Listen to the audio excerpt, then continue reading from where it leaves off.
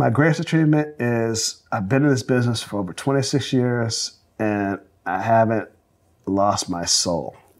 There's a whole lot of people that are very, very successful that they don't even know which way is up anymore, right? And I feel like really cool that like I've, I've been, I've had my highs and my lows and stuff, and I like, I mean, I'm happy, you know what I mean? I'm like, I don't have anything that like, damn, should I done this or, or you know, I don't have any of that bile. You know what I mean? Like, you know, like uh, I can't believe that there's successful people who are like angry. You know what I mean? Like, it's angry because probably they made sacrifices that they didn't know that they were going to make to be successful in a different way. I have just pretty much been, I, you know, I, I've, I've been, I, I call myself the first black film brat because Spike did so much in opening doors and then Gordon Parks and all these people. And when I came along, everybody was looking for an alternative, which was me. They were looking for the next me. Like, so I came in, made my first movie, Impact. So I was like, I'm not gonna take no shit. I'm gonna do what the fuck I wanna do. And, I got away with that for so much time. And I got just to do what I wanna do, right? And I had fun. I had a good time. And I'm still having a good time. So it's like, and I, when I'm having a good time, I'm like, whoa, okay. I have a good time. Your stuff's gonna sell. It's gonna make money. Boom. And then, so uh, I'm gonna ride that wave as long as I can.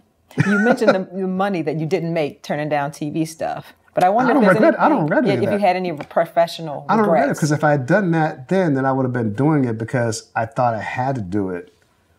You know, I thought I had to do it, and then it's like you know, you're sitting somewhere and you're like, I want to be sitting on. I don't want to sit on a set and be like, why in the fuck am I here right now? Why am I doing this shit? Hmm. I don't want to do that. I want to do stuff that I'm like, I constantly like when I'm on a set, whether it's 12 or 14 hours a day, I'm balls out. I'm having, I'm smiling. I'm joking around with my crew.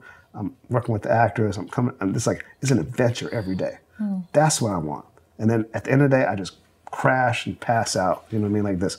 I don't want to sit somewhere and I have to sit in a chair and be like, when is this going to be over?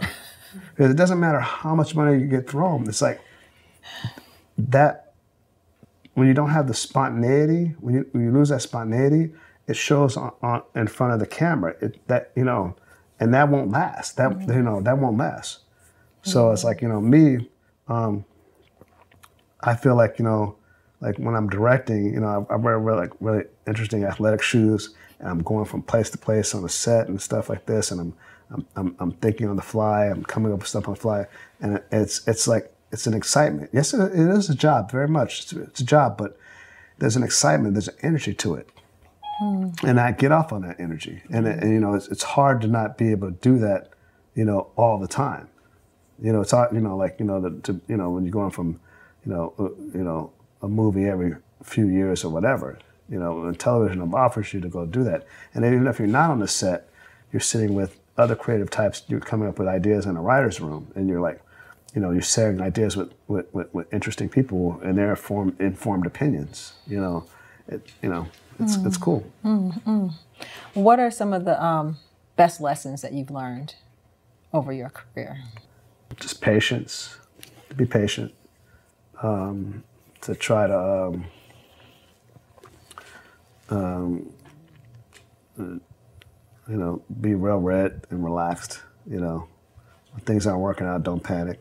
I mean, I learned that early on. I learned that early on. I never was a panicker. I never was, never been a person to panic. You know, I mean, outside of this, um, I spend a lot of time sailing. You know, I mean, I, I, out, of um, uh, Marina del Rey. I go out to Mexico, I go out on islands, you know, I'm 50, 100 miles offshore and stuff like this. And that's when you learn stuff, you know, because you're like, you know, you're at the mercy of the elements, you know, you get close to God and stuff. Mm-hmm. You know, so, and it's the same as directing, you know, totally much the same as directing.